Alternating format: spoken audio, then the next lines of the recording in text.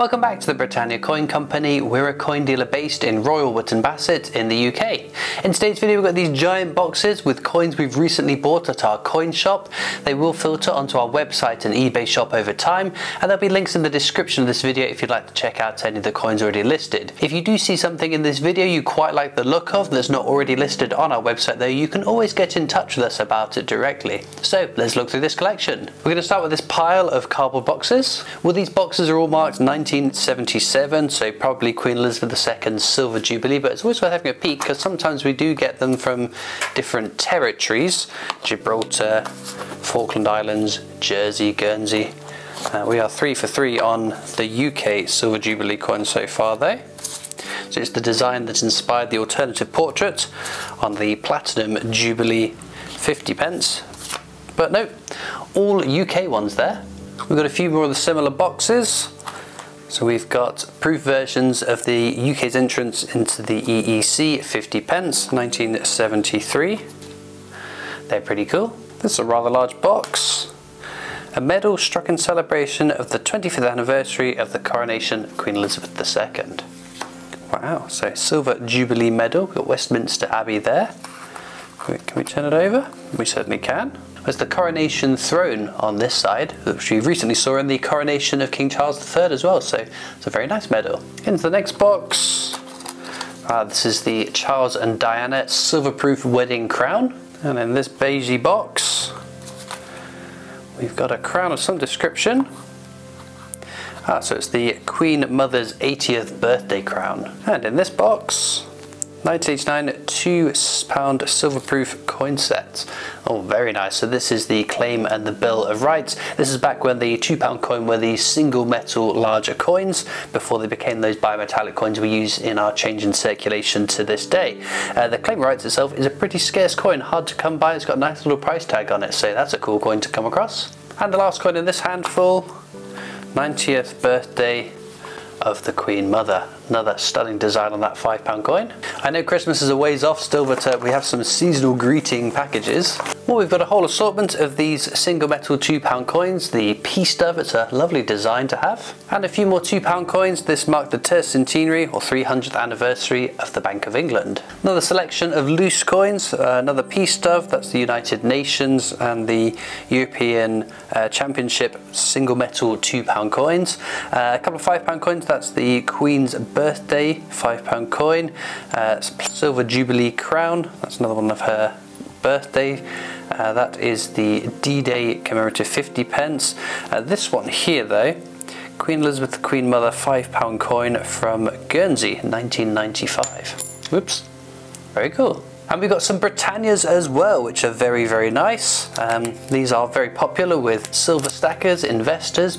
These are bullion coins, so struck to a lower quality than a proof coin, but still a nicer quality than a circulator coin. Uh, they focus on the efficiency of striking these so that the cost to a buyer is a smaller margin over the price of the metal. And these five coins are again single metal two pound coins. This is the United Nations anniversary commemorative. That coin there is the coronation crown. It's a very cool coin. You might recognize this design here because that was minted onto a 50 pence coin and released in memorial to Queen Elizabeth II. Obviously uh, changing the dates either side of the leak uh, in 2022 but it's a very cool coin. And in this box we're going to have another interesting crown. So this is to mark the Festival of, of Britain 1951. We've got the Benedetto Pistrucci George slaying the dragon and on the obverse we have of course King George VI. And we've got 10 coins here, 5 each of the bill and the claim of rights. They look a bit weird though. Um, unfortunately they have undergone some pretty drastic toning because of the packaging they were kept in. This PVC plastic has uh, affected the coins over the many years it's been sat in there. So uh, reminder just to be careful of what you're storing your coins in. There's another Bank of England £2 coin. These two coins are quite exciting. They are two sovereigns, uh, 1974. Lovely bits of gold, wonderful to have in your collection, and again, popular with investors buying these gold coins and hoping that the uh, price of gold continues to rise. Then we've got a stack of these five pound crowns, which are all minted in 1993 for the anniversary of the Queen Elizabeth II's coronation. And then an enormous pile of the Queen Mother 80th birthday 25 pence crowns there.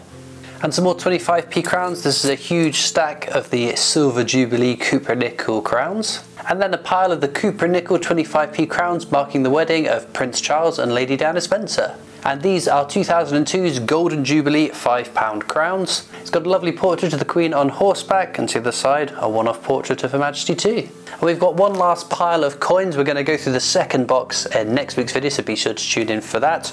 We start with a collection of the crowns. We've seen them all individually, some in silver proof. Uh, so some of them, these, these you will recognise. Churchill crown and the silver wedding anniversary for the wedding of Queen Elizabeth II and Prince Philip. Uh, we haven't seen so far, but a nice little set for the different crowns. And then these Olympic coins are quite cool. They were released one a year to mark the countdown to the London Olympic Games. So this is 2009 with three years to go. Then 2010 with only two years to go. 2011 with one year to go. This is obviously the year where all those Olympic 50p's got circulated to. And then this one was released in 2012 for the start of the Games. These coins are the first £2 coins, well, modern £2 coins as we know it, we will ignore the double sovereigns. Uh, this was minted to mark the Commonwealth Games held in Edinburgh. I think we saw the silver-proof version of this coin earlier. This is the Queen Mother's 90th birthday coin in brilliant uncirculated condition. Brilliant uncirculated coins are a step up from those you'll find in circulation out in our change. They're struck to a higher quality with more force for collectors. They're a great starting point for collectors to start the hobby. And we got a mystery black box. Oh, it's got a Churchill crown in it. I was just saying we haven't seen any of those so far. Will this be another Churchill crown? it certainly is. Well, there's another Golden Jubilee £5 coin. And then these I quite like. It's 2003's anniversary of the coronation.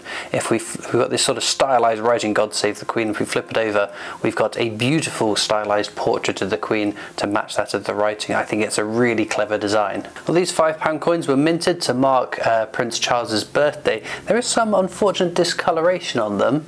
Uh, they've been kept in this sort of cardboard packaging and I think the uh, over time colour in the ink or whatever is in the cardboard has leaked onto them and they're a little bit stained yellow in places, which is a shame.